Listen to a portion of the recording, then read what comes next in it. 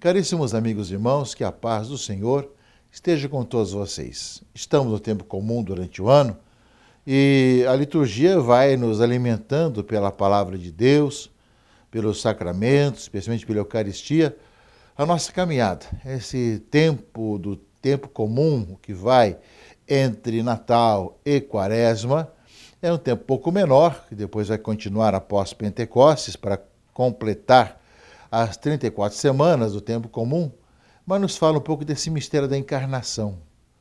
E nós estamos ainda um pouco nesse clima de contemplar o mistério da encarnação, o Verbo que se fez carne e veio morar no meio de nós. Na próxima quarta-feira, dia 2 de fevereiro, é o dia da purificação de Nossa Senhora, da apresentação do Senhor. É um dia de festa.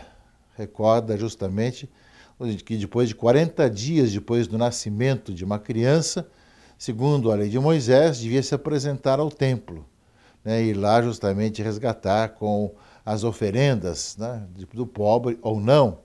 E assim aconteceu que Maria e José foram ao templo para apresentar o menino Jesus e para Maria se purificar, segundo a lei de Moisés na época.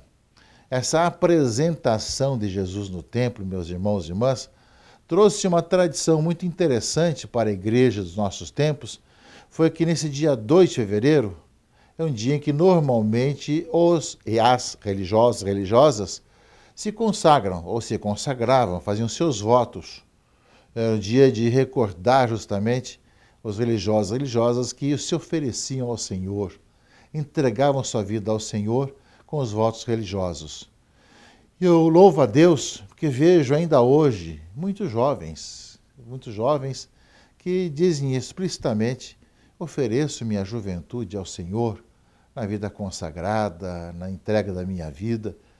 Isso nós vemos que a ação do Espírito Santo faz maravilhas também em nossa sociedade de hoje.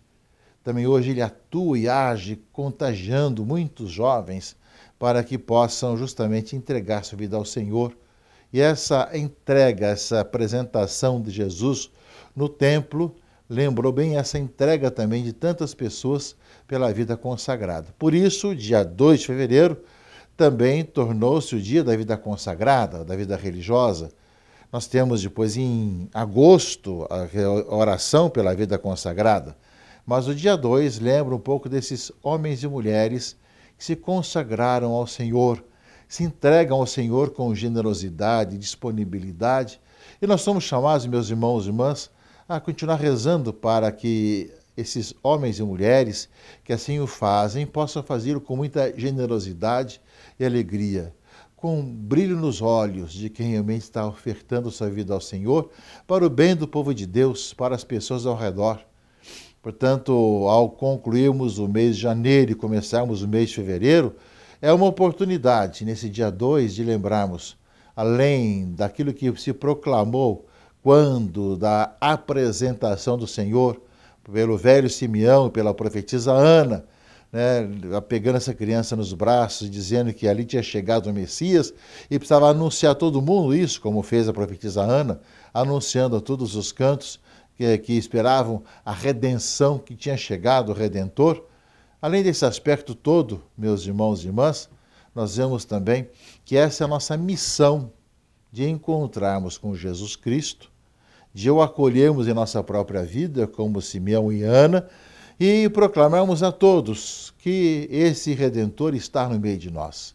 E a vida consagrada, a vida religiosa, masculina e feminina, também é um jeito de pessoas que acolhem o Senhor, se entusiasmam com Jesus Cristo e, consequentemente, anunciam aos irmãos pela própria vida, pela própria consagração, né, que em Cristo encontram a vida e o anunciam aos irmãos e irmãs. Portanto, louvemos a Deus por tantos bens, tantas graças que nos concede a cada dia, por tantos sinais e exemplos, em especial da vida consagrada, da vida religiosa, e peçamos por todos aqueles que Deus chama para que sejam fiéis até o fim dos seus dias e sejam abraçados pelo Senhor para continuarem com entusiasmo nessa bela missão, nesse belo testemunho. Que Deus abençoe e guarde a todos, em nome do Pai, e do Filho e do Espírito Santo. Amém.